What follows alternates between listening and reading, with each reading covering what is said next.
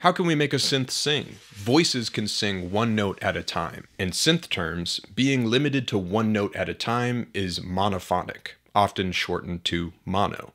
In monophonic mode, we access a musical vocabulary born out of the physical one note limitation of the voice.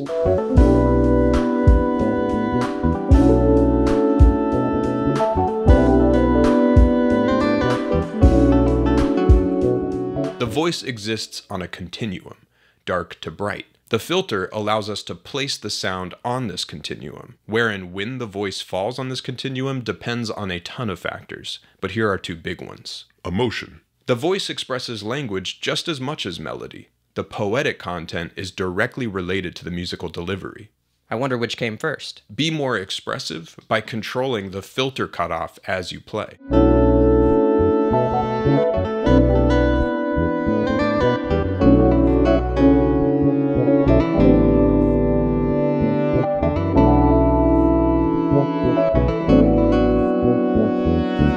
Range. Lower notes require less air, energy, or tension and can be sung with a more relaxed, darker, smoother tone.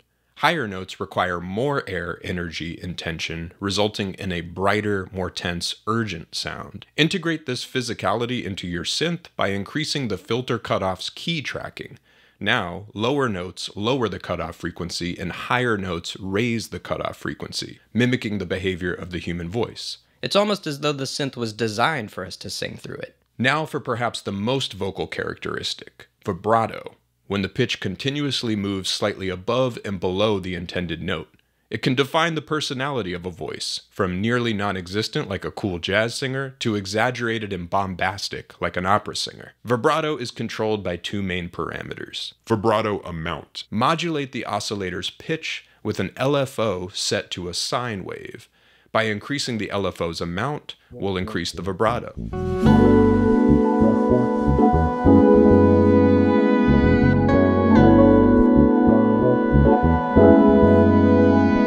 Vibrato rate. If the speed of the vibrato is always the same, it becomes predictable. By controlling the rate of the LFO, you can change the speed of the vibrato, adding to the vocal quality. There's no right or wrong way to configure these vibrato settings. Each sound and synth may require different parameter values. Results can range from subtle to comical. Experiment and find what sounds true to you. A voice doesn't have keys, frets, or buttons. Its pitch is fluid. By adding glide, overlapping notes will slide into one another.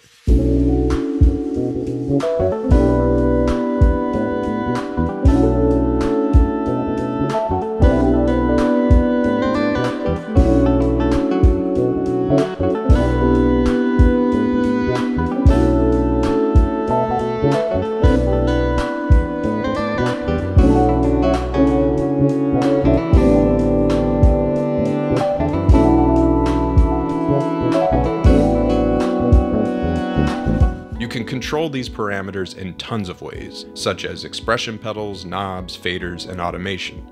However you go about it, these ideas are the key to injecting the human essence into your sounds. Use your imagination and make it sing.